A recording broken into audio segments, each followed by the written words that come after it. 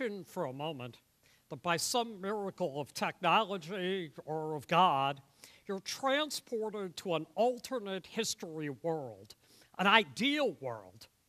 The first thing you notice, of course, is the incredible beauty. You find yourself standing in a lush valley with a singing brook wandering down from high mountains, framed in a golden sunset. Even the colors of this world seem more vivid. Scattered throughout the valley are farms. The buildings are in an architectural style you don't recognize, but they fit with the landscape perfectly. Behind you, the path you're on, seemingly dirt, but smooth and forgiving under your feet, leads down toward a city, golden in the sunlight, marred by no trace of mist or pollution. Much as the mountains entice, it is the people of this world you want to find. You ramble down the path for a long time and observe the inhabitants. The first thing that strikes you is their seeming joy and peace. Here, for example, is a man driving what can only be a tractor, and he's moving across the road and warmly thanked by his neighbor for the use of the tool. Even the fences are obviously designed only to keep livestock in. There are no locks on gates, no walls around even the largest homes. You sense with a gift of insight that there was no coveting or self serving here. A day later in the city, you realize that all these people are as gracious as that first farmer. They share openly and live peacefully, and over and over you hear them speaking well of each other. This world, you notice, is not without its dangers. By the edge of a deep blue lake, you see a group of children playing by accident, not by malice, one child knocks another in. They cry and scream and don't know what to do like ordinary children. But when an adult runs up and rescues the endangered one, there's no shame, no lies, no cover up, only a brief and apparently soon forgiven remorse on the part of the child who did the pushing. And in the, as in the country, the city seems to be a place with no locks. Farmers come in the morning and deliver food to restaurants and stores, but there are no clipboards, no checklists, no review of what is given or what is received. In fact, it often appears that that morning that the person delivering the supplies simply walks into the store and places what he has brought on the counter with no accountability at all. Theft must be a foreign concept here. Curious, you wander further that day and confirm your suspicion that there are no police here. No stations, no vehicles on patrol, no bobbies on foot in any kind of uniform. You have the sudden conviction that if theft is non existent, then the larger crimes of assault and rape and murder must be equally rare. These people just don't seem to be in the habit of hurting one another. You feel a little strange about walking into one of the unlocked homes with the family there but your curiosity has grown strong. You're not surprised to see that two families are there, apparently sharing a meal. You are a little surprised to see that the face of one of the two women is disfigured by burn scars. You had forgotten that this world could be dangerous, but you're struck by the love that the woman's husband shows to her and by the sudden realization that he treats his neighbor's beautiful, kindly wife well, but with no trace of lust or flirtation. With the insight that you're becoming accustomed to on this world, you know that he is 100% loyal to his spouse. It's almost a relief to all this cloying niceness when a loud series of shouts breaks out in the backyard. But when you follow the parents out, you find that the shouting is just a case of youthful enthusiasm over some game the kids are playing. When the parents urge the kids to keep it down and think of the well being of their neighbors, the response is immediate and respectful. You feel that you can see into their souls that this honor for their parents is real and deep. The next day will be your sixth, observing the strange, wonderful, and alien society. In all that time, you've heard no arguments, no raised voices, no curses. Life seems to flow on in an endless and potentially dull routine. Do these people have no highs, no lows? But that morning, things seemed different. The city which has had a certain level of music to it ever since you arrived, now seems suffused with it, and the morning routine of the families you're watching is different. You notice that no one is heading out to the opens to open the stores, no one coming into town with deliveries. This must be Sunday or its equivalent. That's confirmed a few moments later when the families come out and get in their vehicles or walk toward the structures that you had tentatively identified as places of worship. Light, white, set on hills or deep in the woods, these seem to be quiet each day, and you hadn't taken much notice of them. But today, every family, every individual seems headed for one of these buildings. Warm greetings fill the air and an almost irresistible music flows out. Middle aged men and women are helping their older parents into the large central hall. They joyfully greet others whom they've clearly known all their lives. Everyone you've seen over your days in the city seems to have gathered. From someplace, the music swells, and a man steps out. Tov Yahweh, shahamar shemeka. You recognize that this is praise to God. And as the service of celebration goes on, you see deeply into the hearts of those around you and realize that this is the excitement you've been looking for. All these people, every one of them, is filled to overflowing with joy and praise. Not one is missing the little boy who nearly drowned, and the woman with the disfigured face, and the old man who could barely raise his fork joined the joyous singing just as fully as the farmers and merchants, teachers, and housewives, all singing praise to their God. With the start, you realize that your perception has now penetrated even deeper to the core of their existence, and at that core, you see a soul. Not many souls, but one soul that loves. The love you've seen in the community is only the outworking of the love that soul receives from God and the love it mirrors.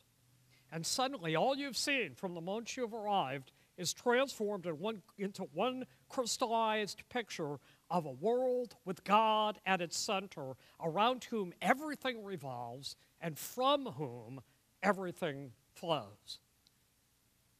And that, my friends, is what the law shows. That's the Ten Commandments, or most of them anyway, taken not as negatives to be avoided, but as positives to be lived.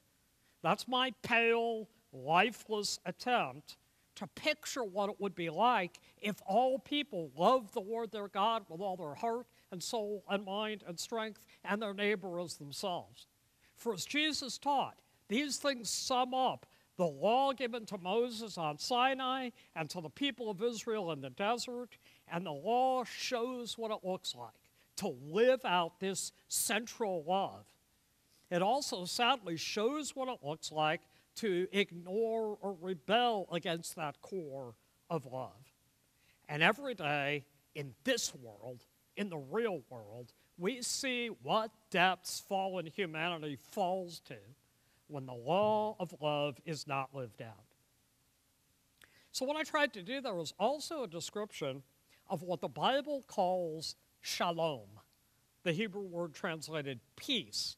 But it really means so much more than that. So that in recent years, people have been calling it human flourishing, itself an ancient Greek concept. Cornelius Plantinga Jr. describes biblical shalom as a state in which the physical world, humanity, its cultures and ethnicities, families, married couples, friends, and individuals all exist in wholeness while enjoying edifying relations with each other and encouraging one another's virtues. This is what the law shows. It shows first this ideal of loving behavior. And yet, the law also vividly reveals the other side that as fallen and lost people, we cannot keep this ideal. Yet, when we're rescued from the curse of the law, it again becomes the ideal of human flourishing toward which faith guides us. So, when we last left our story, the people of Israel had been rescued from Egypt, from slavery, by the blood of the Lamb on the door. As they left, Pharaoh hardened his heart again and sent his army to pursue them. Trapped against the shore of the Red Sea, they were on the verge of destruction when God rescued them, parting the sea, drowning the Egyptian army. Not long after that, they arrived at Mount Sinai, where God appeared in fire and smoke and cloud and earthquake and gave to Moses the Ten Commandments, even as the people were down in the valley making a golden calf and falling into idolatry. So from the beginning, the Ten Commandments were never lived out. And the same can be said of the whole law of Moses. All the parts which regulate moral behavior and human relationships, the principles of worship, all of these, if stated positively instead of negatively, translate into an ideal society. Over and over this summer, we turned to the Pentateuch, to the law, to see what compassion and outreach would look like. We heard about God's heart for the refugee, for the orphan, his provision for the homeless, the destitute, the oppressed. We saw how the smallest details of the law support the vision of human flourishing, and how the largest principles of the law, love God and love others, are the foundation of human flourishing. But the law does not just postulate this ideal society, it also reveals very clearly that you cannot live up to this ideal. You and I and the nation of Israel and every culture that has ever laid claim to human lives has failed miserably at keeping the shalom that God made clear at Sinai. It's amazing to me that while Moses was off getting a law which had as its first precept, you shall have no other gods before me, the people were gathering their bits and pieces of gold jewelry and forming them into an idol, an image of a calf to be worshiped in God's place.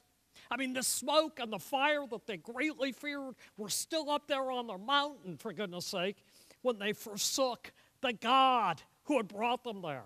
The bodies of Pharaoh's army had barely begun to decompose in the sea.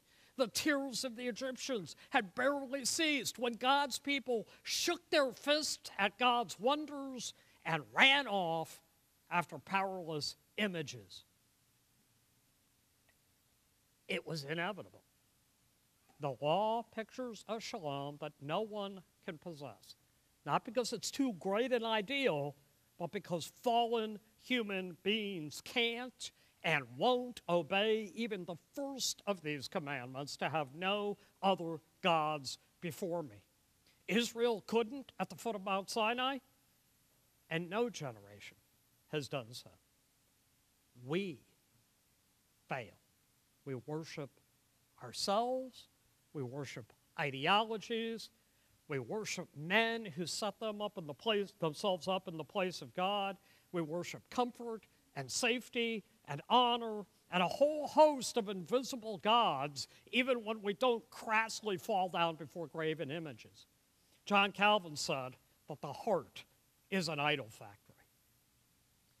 One of the great moments for me at seminary was when my Hebrew professor, John Sailhamer, pointed out that Moses knew this that God told Moses what would happen under this law of human flourishing. Deuteronomy 31, 16 to 21. And the Lord said to Moses, Behold, you are about to lie down with your fathers. Then this people will rise and whore after the foreign gods among them in the land that they are entering, and they will forsake me and break my covenant that I have made with them. Then my anger will be kindled against them in that day, and I will forsake them and hide my face from them, and they will be devoured. And many evils and troubles will come upon them, so that they will say in the day, in that day, Have not these evils come upon us because our God is not among us? And I will surely hide my face in that day because of all the evil that they have done, because they have turned to other gods. Now, therefore, write this song and teach it to the people of Israel. Put it in their mouths, that this song may be a witness for me against the people of Israel. For when I have brought them into the land flowing with milk and honey, which I swore to give to their fathers, and they have eaten and are full and grown fat, they will turn to other gods and serve them, and despise me and break my covenant. And when many evils and troubles have come upon them, this song shall confront them as a witness, for it will live unforgotten in the mouths of their offspring. For I know that they are inclined to do what they are inclined to do even today, before I have brought them into the land I swore to give them. This isn't the best known bit of the Old Testament, but it reinforces a key truth that while the law is good, no one keeps it. Moses, you're not going to be cold in the grave before this people will rise and whore after the foreign gods among them in the land that they're entering. And they'll forsake me and break my covenant. Verse 18, they've turned to other gods. Verse 20, for I know what they're inclined to do even today before I bring them into the land. God's people do not, indeed cannot, keep God's law. And the rest of Scripture confirms this. The, the prophets accurately accuse Israel and Judah of idolatry that displaces God in their hearts and of injustice that displaces love for others. Jesus accuses the Pharisees and religious leaders in his day, though their idolatry wasn't a worship of false gods, but a worship of tradition above God. And Paul makes it clear that none is righteous and that no one keeps the law. He, he says, Those who boast in the law dishonor God by breaking the law. Think about it. Even if we reduce the law to loving God with all our heart and soul and mind and strength and loving our neighbors as ourselves, we all fail miserably. It's not that we don't love God sometimes, sometimes people do, but often we don't our hearts are distracted to find security in other things that become our idols. It's not that we don't love others sometimes, we do. But then there are those times when we say what we know shouldn't be said and do what we know shouldn't be done so that we hate and we hurt. And so the law, in the words we heard in that uh, first song, the law is all the law I cannot keep. So, my first point this morning was that the law does provide a beautiful ideal for human flourishing. But at the same time, the law shows us that we can't keep it. And so, none of us is righteous. We're all under sin and desperately in need of rescue.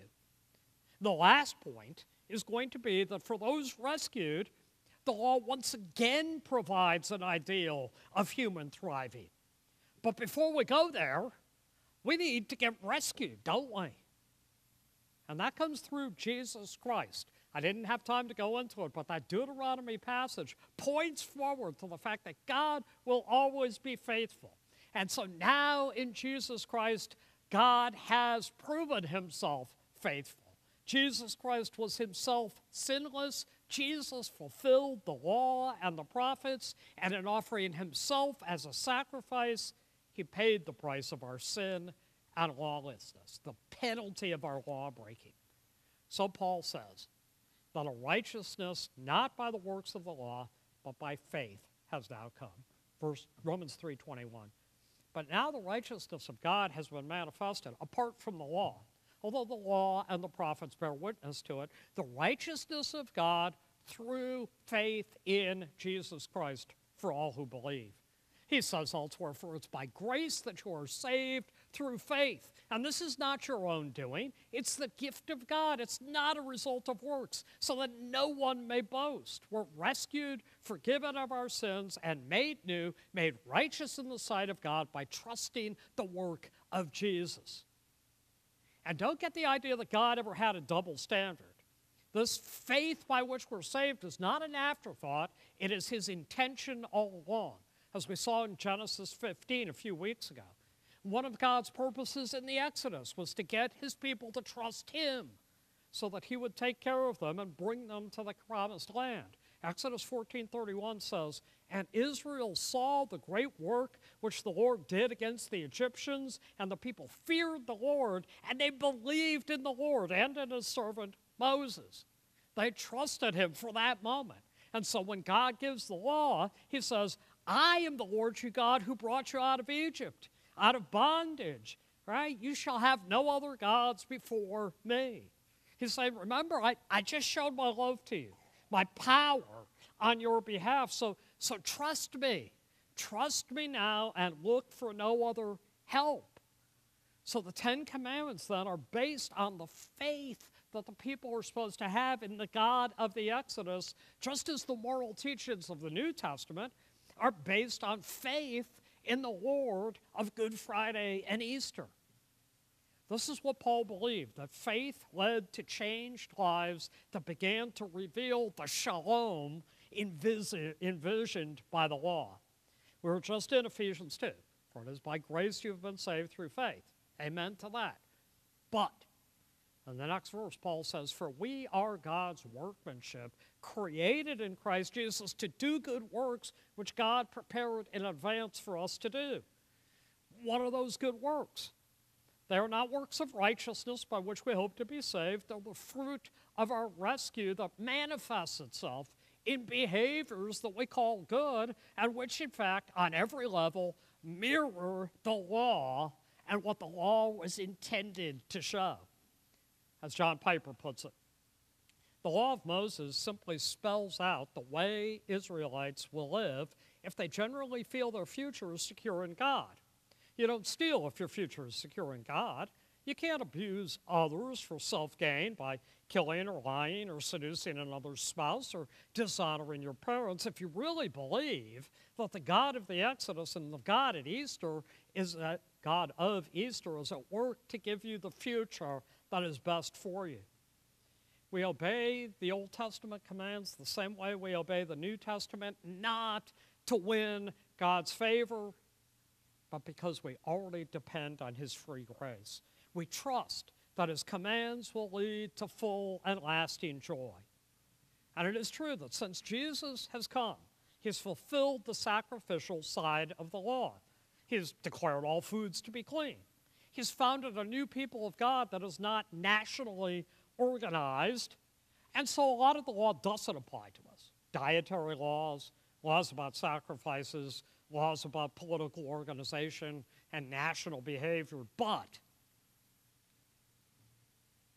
vast portions of the Pentateuch describe dimensions of shalom which are true for God's people in every age, including our own. Romans 8 teaches us that the law itself cannot produce this kind of behavior, and so God has given us His Holy Spirit in order that the righteous requirements of the law might be fulfilled in us who walk not according to the flesh, but according to the Spirit. You and I, as vessels for God's Holy Spirit, can begin to fulfill the law in the power of the Spirit through faith and revealing itself in love. So, returning to the Ten Commandments, we find that the New, Test- the New Testament believers are called to the same vision of human flourishing. At the, at the essential level, Jesus and Paul teach us to love God with all our hearts and to love our neighbors, and they claim that this fulfills God's law. But when we look closer, we find both positive and sometimes negative commands in the New Testament that call us to the exact same shalom revealed in the Ten Commandments. And yes, we still need negative commandments, for our sinful nature, our flesh, is still at war within us. But we also need and receive these glorious positive exhortations that mirroring the Ten Commandments because the Holy Spirit is at work in us as we've trusted God. So the, whole, so the New Testament exhorts us to follow God alone. One of the places Paul says, I appeal to you, brothers, by the mercies of God, to present your bodies as a living sacrifice, holy and acceptable to God, which is your spiritual worship. Do not be conformed to this world, but be transformed by the renewal of your mind, that you may prove what the will of God is, what is good and acceptable and perfect. This is human flourishing. It's the positive command to make God first in everything. Again, Paul often warns against idolatry in all its forms. Colossians 3 5. Put to death, therefore, what is earthly in you sexual immorality, impurity, passion, evil desire, and covetousness, which is or which are idolatry. In Galatians 5, he lists idolatry as one of the works of the flesh, the sinful nature in contrast to the fruit of walking with the Holy Spirit by faith. And in Colossians again, he says, If then you have been raised with Christ, seek the things that are above, where Christ is, seated at the right hand of God. Set your mind on things that are above, not on things that are on earth. You, do you see that? That's a vision of human flourishing that has no room for idolatry because our hearts and minds and lives are set on the things above. And in that vision, there is also no room for speaking evil of God, taking his name in vain. The book of Hebrews says that through Jesus, then, let us uh, then continually offer up a sacrifice of praise to God, the fruit of lips that acknowledge his name. James tells us the same mouth should not curse and bless. Even the Sabbath, not legalistically, but as part of the vision of human flourishing, is found in the New Testament. The book of Hebrews teaches clearly that there remains a, a Sabbath rest for the people of God. All right? It's not just today. This is rest and Jesus who comforts and refreshes us. And the practice of the New Testament churches also included gathering once a week for worship and for fellowship. Then there are the love your neighbor commandments. Honor your father and mother. And Paul emphasizes the flourishing that's already in the command that it may go well with you and that you may live long in the land. You shall not murder. Jesus elevates anger to the level of murder, but then he says, Do not resist the one who is evil. But if anyone slaps you on the right cheek, turn to him the other also. Love your enemies. Pray for those who persecute you. The, the positive alternative to murder. You shall not commit adultery. Again, Jesus makes it a hard issue the lust in your hearts, the locker room banter on the bus, it is idolatry. But the book of Hebrews puts it positively. Let marriage be held in honor among all, and let the marriage bed be undefiled. A positive vision. You shall not steal. Paul puts it positively. Let the thief no longer steal, but rather let him labor, doing honest work with his own hands, so that he may have something to share with anyone in need. Do you see that? The law turned on its head, lived out in its positive implications by faith, becomes a vision of human shalom, human flourishing. That which we cannot keep by works becomes the ideal for our community life together in faith. That's what the law is supposed to be all about. You shall not bear false witness against your neighbor. Colossians 3 9. Do not lie to one another seeing that you have put off the old self with its practices and have put on the new self, which is being renewed in knowledge after the image of its creator. Paul later says, speaking the truth in love, we will grow up in every way into him who is the head, into Christ. We're going to put on this new self and speak to each other with grace and love, and the community of people doing that will flourish. We will flourish. We will experience shalom. Tenth commandment you shall not covet. And Paul spends a lot of time on this in Romans 7 as an example of how the law shows our sin, and it does. But the positive side of this is beautiful. 2 Corinthians 8 1. We want you to know, brothers, about the grace of God that has been given among the churches of Macedonia. For in a severe test of affliction, their abundance of joy and their extreme poverty have overflowed in a wealth of generosity on their part.